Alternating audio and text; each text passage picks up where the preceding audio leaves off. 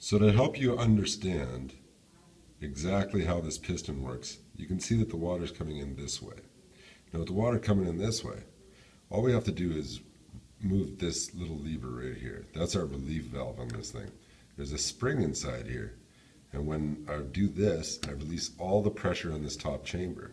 That means that this piston is actually going to rise up and allow for all that water to dump right underneath it. Because as you can see, there's very little to restrict it. Now while it's doing that, you can see that I've got this little filter here. That little filter is actually keeping uh, some of the grit and grime from entering the top here, but it's going through there because now that thing is reseated.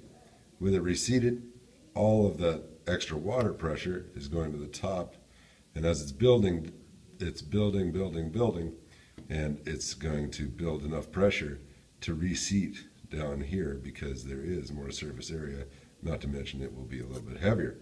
So that is your piston type direct flush valve. And then over here is your diaphragm type flush valve. Now it works on the same principle. You can see that I've got this bypass right here, okay, and that's built right into the diaphragm.